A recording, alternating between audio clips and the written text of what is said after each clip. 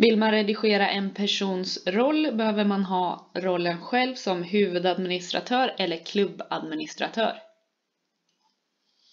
Vi går till administration i den översta menyraden och sedan trycker vi på personer i den vänstra menyraden. Vi väljer att söka fram personen i fråga som vi vill ändra rollen på.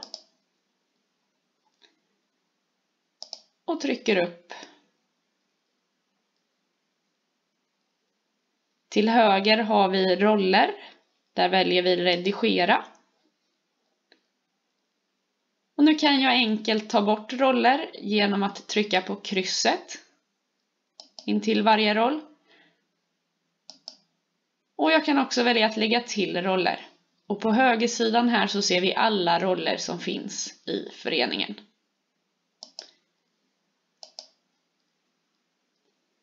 När jag tagit bort de rollerna som ska tas bort, alternativt lagt till de som ska läggas till och jag känner mig nöjd så väljer jag att trycka på välj och sedan på spara. Och så har jag uppdaterat personens roller i föreningen.